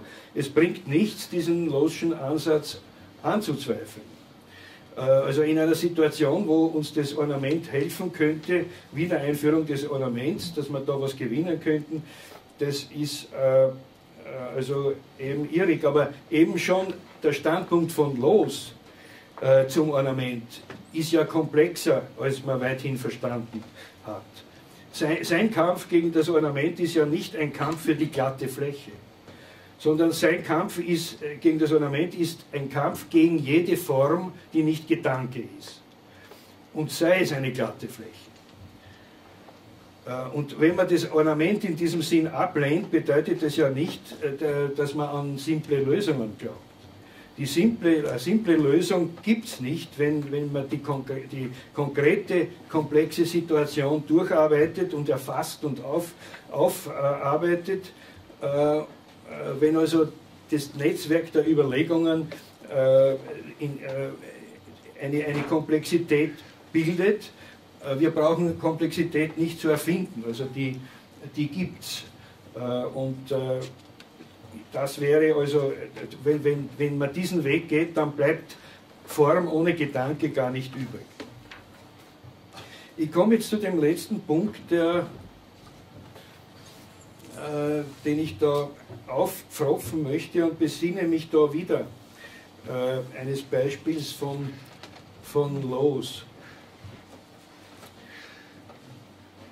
Äh, nämlich die Frage äh, Produktion ist, ist, versteht man Architektur, wenn man ihre Produktion, nämlich die Entwurfsproduktion, versteht, oder versteht man sie, wenn man ihre Konsumption erlebt. Äh, zu diesem Gebäude hat Karl Kraus einen ganz interessanten äh, äh, Satz geschrieben über das, über das Loshaus. Er, nämlich Los, hat ihnen dort einen Gedanken hingebaut. Sie aber fühlen sich nur vor den architektonischen Stimmungen wohl. Und was ist damit Gedanke gemeint? Ich gehe da jetzt nicht auf sehr viele Dinge ein, aber nur allein einmal, dass die, was hier auffällt, ist, dass die Achsen nicht übereinstimmen. Von oben sind additive Achsen gedacht, da sind also lauter Raumzellen aneinander gefügt. Unten ist aber die ganzheitliche äh, mit verschiedenen Abständen und äh, Interkolumnien arbeitende, äh, ganzheitliche, eine Säule, die Säulenstellung eben. Mit, mit, diesen verschiedenen Mitteln gearbeitet, unten und oben. Deswegen stimmen die Achsen nicht überein. Man, die Mittelachse klar, aber auch die Endachsen stimmen, wenn man genauer schaut, stimmen wieder überein in ihrer, in ihrer geänderten Maßform. Äh, dann kann man weiter, ja, es ist überhaupt eine Kombination von, von, von dieser Fassade, die einfach eine Mauer mit Löchern ist, mit der tatsächlichen Konstruktion, weil diese, weil diese Säulen diese Last von sechs Geschossen plus dem Dachgeschoss da oben, äh, äh, insgesamt sechs, nicht, nicht tragen könnten, sondern entlastet werden müssen durch einen äh, äh viergeschossigen Rahmen, Stahlbeton oder damals Eisenbeton gesagt, äh, diesen Eisenbetonrahmen, der die Säulen hier entlastet. Los hätte Fensterbänder machen können, wenn er, wenn er, wenn das seine kulturelle Vorstellung eines Hauses an dieser Stelle gewesen wäre. Aber das sind also Komplexitäten, die in diesem Haus aus der, aus der verschiedenen Problematik kommen. Oder eben die, die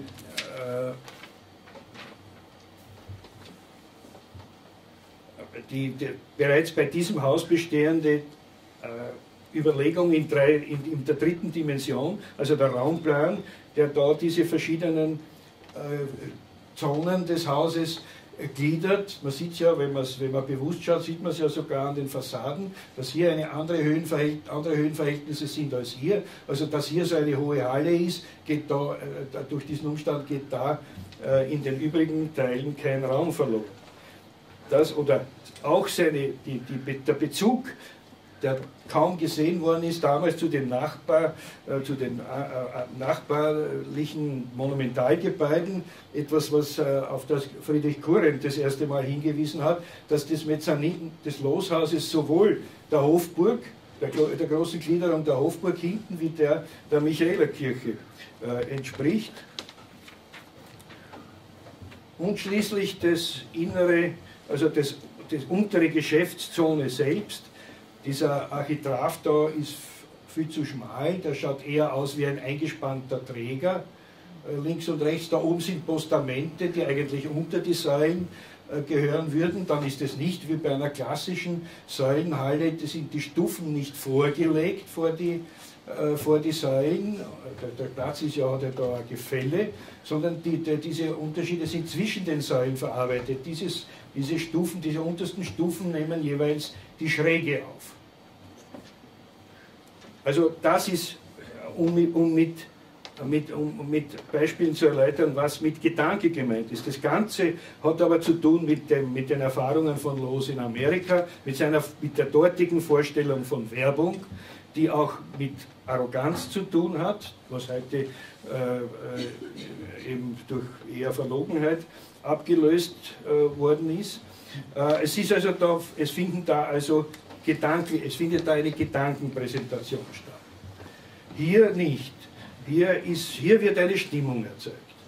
Und zwar eine Stimmung, die sehr stark mit Mitteln der Einschüchterung arbeitet und äh, die also eben eine Stimmung äh, erzeugen soll. Das ist eine grundsätzlich andere Herangehensweise und es ist eben gut, dass es gerade an diesem Gebäude äh, dieses Beispiel eines Altars unserer Zeit, wie das damals genannt wurde, das ist eine Dekoration vor der Volksabstimmung im April 1938. Äh, das ist also von, ja, das schaut von der Entfernung so aus, von der Nähe so. Wir sehen, dass sich der Teppich da mit den Stufen kläglich ausgeht. Wir wissen warum. Äh, aber es gibt auch heute vielleicht politisch harmlosere Dekorationen. Äh, und zwar finden die zu Weihnachten statt, wo da äh, Glüh, Glühlampen, also halt so Lämpchenketten, da von oben bis unten vor die Säulen gehängt werden, wo aber die, diese Ringe, diese, diese Bronzeringe hier und am oben das ganze Jahr über drauf bleiben. Also wenn man an die anthropomorphe äh, Bedeutung von Säulen denkt, ist es so, wie wenn einer Fußketten und Nasenringe äh, ver, verordnet bekäme. Also ich finde das eine, eine äh, äh, delikatere Entstellung einer, einer, Architektur, als wenn irgendwelche Aufschriften mit den, mit den Mietern wechseln. Äh, also wir haben da einen, eine, eine äh, Gegenüberstellung der Begriffe Produktion, äh, ist, kommt, kommt man auf Architektur durch äh, Produktion, äh, durch Verständnis der Produktion oder durch äh, Erlebnis der Konsumtion. Und wir haben ja alle möglichen Dinge, die also auf, diese, auf dieses Thema stoßen. Es gibt einerseits den, wie schon erwähnt, den Newswert der Star, der Star-Architektur oder die Aufspaltung der Bauplanung in verschiedene Dienstleistungen, in verschiedene Consulting-Dienstleistungen oder Strategien wie das Theming, Branding, Imagineering ist ein Begriff von, von den Disney nicht geschaffen, aber äh, sehr, verwehrt, sehr, sehr, oft verwendet hat. Äh, und überhaupt der ganze Eintritt der Architektur in die Kulturindustrie, auf die ich nur kurz zu sprechen kommen, auf den ich nur kurz zu sprechen kommen werde. Äh, und eben auch die Begründungen von Ornament und die Forderung nach Atmosphäre, das dürfte dieses gemeinsame Kennzeichen haben, dass, dass, dass, dass darin die Versuchung liegt, Architektur nicht von der Produktion, sondern von der Konsumtion her zu denken. Und dann, da erhebt sich die Frage, ob das möglich ist, ohne dass man den Konsumenten und sich selbst als Architekt belügt. Äh, nun ist ein bisschen äh, mit dem Wort Stimmung, muss man auch wieder vorsichtig sein, denn äh, Los-Kenner unter Ihnen werden wissen, dass Los auch gesagt hat, der Architekt schafft ja Stimmungen und er hat die Stimmungen vorher ins, vor seinem Auge, äh, bevor, er, bevor er zum Stift greift und so weiter. Äh, also man muss mit diesen Begriffen vor, und das, das aber äh, Los mit seinen Gedanken eine massive Wirkung erzielt hat, äh, ist natürlich auch unbestritten. Das ist eine Karikatur äh, der Zeit, wo äh, wahrscheinlich kann nicht, können nicht mehr alle Fraktur lesen. Kunstbrütend ging der Modernste durch die Straßen. Plötzlich blieb er erstarrt stehen. Er hatte gefunden, was er so lange vergeblich gesucht. Das nämlich, und das Gebäude hinten ist die Sezession. Also die Message ist, das hat nicht genügt, das hat es müssen sein.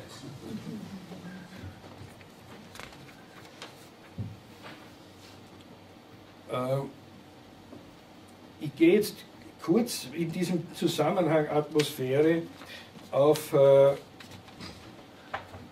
äh, ein Objekt ein, das ich nicht zu lange erklären will, sondern nur einige, einige Minuten. Äh, das ist ein, ein, ein nicht mehr bestehendes Interieur eines, ein, im Palais Schwarzenberg, wo, wo, um die, äh, das, wo man sagen kann, das reicht eigentlich an sowas wie Atmosphäre heran. Ich lege aber sehr viel Wert darauf, dass das immer noch in den produktiven, äh, in den produktiven Zusammenhang eines Entwurfs hineingehört.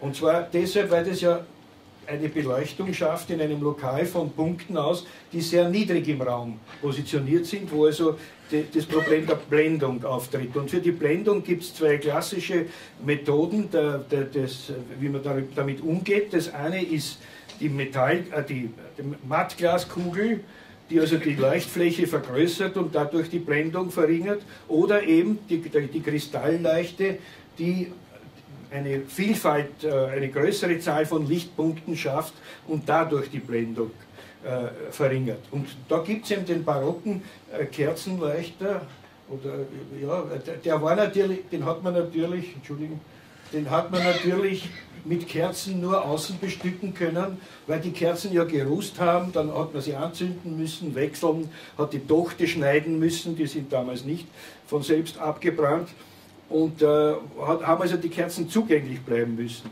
Während der klassizistische Kettenluster umge äh, umgewandelt wurde, wo die, die, die, äh, die Leuchtmittel in, die, in, den, äh, in das Volumen hineingebracht worden sind, sobald es Gas oder elektrisches Licht gegeben hat, äh, was mit dem barocken äh, Kerzenleuchter eben nicht, nicht gemacht worden ist.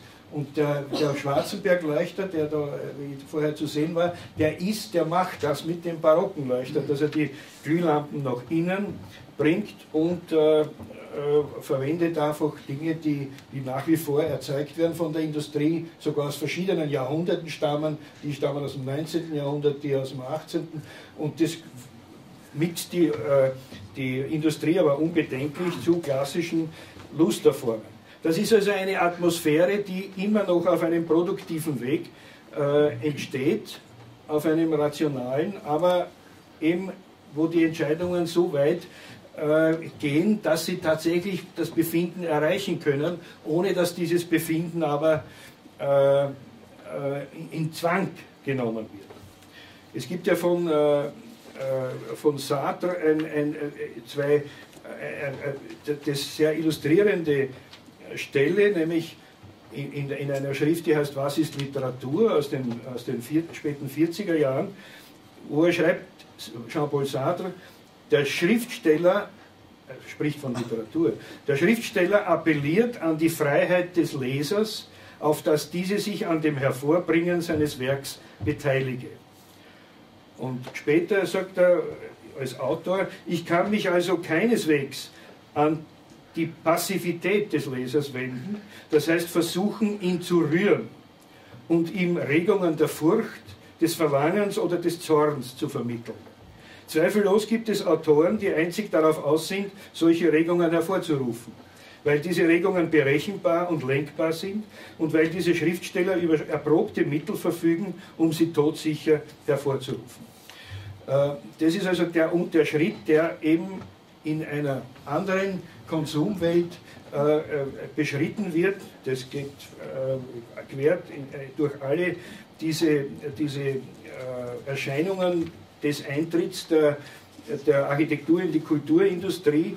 Den Begriff Kulturindustrie haben ja Adorno und Horkheimer schon vor Jahrzehnten äh, analysiert und äh, auch gefasst eigentlich erst, äh, und zwar mit dem Kennzeichen, dass die Produkte der Kulturindustrie nicht mehr zum Rezipienten, sich an den Rezipienten wenden, indem sie sich an seine Freiheit wenden, also ganz im Sinne Sartres, Sie wollen ihn weder bewegen noch überzeugen, sondern sie betrügen ihn, nehmen ihn als bloßes Mittel, um an sein Geld zu kommen, das er möglicherweise auf gleiche Art erlangt hat. Das ist jetzt kein Adorno-Zitat, aber das Adorno-Zitat kommt gleich. Es ist kein einfacher Betrug. Nicht nur fallen die Menschen, wie man so sagt, auf Schwindel herein, sie wollen bereits einen Betrug, den sie selbst durchschauen. Uneingestanden ahnen sie, ihr Leben werde ihnen vollends unerträglich, sobald sie sich nicht länger an Befriedigungen klammern, die gar keine sind. Äh, ja, das kann man durch, äh, das geht vom äh, New Urbanism bis bis äh, Konsumwelten von John Jurdy oder von äh, diese, diese Häuser, die zum Beispiel 30 Jahre später etwas paraphrasieren, was hier bei, bei äh, Robert Venturi durchaus analytischen Charakter hat oder, oder Erscheinungen wie sowas. Man kann hier eigentlich nichts nichts, äh, Element, nichts Wirkliches kritisieren. Also so eine gebogene Uferlinie kann sehr schön sein, auch eine gebogene Straßenlinie kann, äh, kann, äh, äh, kann, kann was haben. Es ist ja so, dass man nie an einem einzelnen Element sagen kann, das ist schlecht, das darf man nicht machen, weil es wäre immer ein Meisterwerk denkbar, das genau dieses, dieses Element hat. Aber wenn man sich fragt, ist das, auf welcher Seite des steht es jetzt? An der Wendung, auf der Seite der Wendung an eine Freiheit oder an die, an die, äh, äh, an die Regung von, äh, von planmäßige Regung von Gefühlen. Das geht von, äh, von allen Dingen, die man kritisieren kann, ist das wert, sich dieses, dieses kritische, diesen kritischen Aspekt einmal vorzuhalten. Ich gehe da jetzt nicht im Einzelnen drauf ein, aber das hier ist, die, ist eine, ein zweiter Wettbewerb zu Aspern, der sich mit dem Branding beschäftigt. Entschuldigung, das hier. Ja, also da gibt es, äh, ja, das ist, ist, der Gewinner, da gibt es alles äh, von Viertel, das Esprit heißt, Quartier Latin, Schaffel, Metropole, Esplanade, äh, alles gibt es da. Und ob, meine Frage ist, ob es nicht möglich ist, aus diesem, aus diesem äh, Strategien, aus diesem Material eine, ein kritisches Potenzial wieder für den Entwurf zu gewinnen. So als Beispiel, wie, wie, äh, wie, dieses, wie dieses Projekt da aus, dem, aus, der, äh, aus der Mitte der 90er Jahre von mir, äh, wo also in einer sehr konservativen Gemeinde ein, eine Siedlung gewünscht wurde, die, die also möglichst äh, die also einfach schon einmal den, den ästhetischen Bebauungsbestimmungen dieser Siedlung folgt, die also die Dachneigung hat, die wilden Charakter hat, äh, obwohl sie äh, sieben Wohnungen umfasst, äh, wo aber eben durch den relativ freien Grundriss und die dreiseitige Belichtung eine sehr freie Grundrissänderungsmöglichkeit für die Mieter möglich war. Und sie konnten sogar die Fenster innerhalb einer größeren, in einer größeren konstruktiven Öffnung wählen, sodass eine rational, durch einzelne rationale Entscheidungen eine äh, äh, äh, informelle Entscheidung, äh, äh, eine informelle Erscheinung äh, entstanden ist, äh, wo also die ästhetischen Bestimmungen sozusagen ins Leere gelaufen lassen sind, rational und rationell interpretiert sind und dadurch überhaupt auch eine neue, eine neue äh, es ist also das nicht, simuliert nicht eine heile Welt.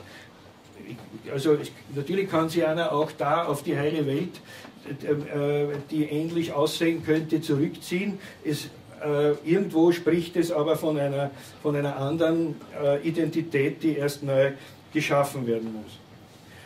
Ja, ich hoffe, dass, das, dass der Vortrag dazu beiträgt, was ich einmal in einer Publikation in der, für die ETH sagen wollte, dass nämlich die, der Sinn einer geistigen Entwicklung oder einer, auch einer Entwurfsentwicklung in der Architektur auf Verwirrung beruht. Danke.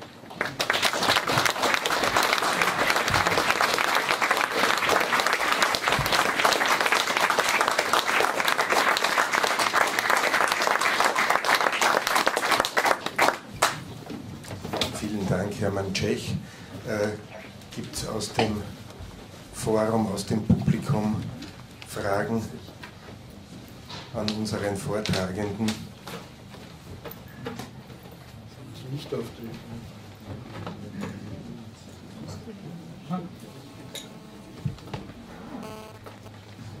man das Licht vielleicht aufdrehen? Also. Kann man das Licht aufdrehen, bitte?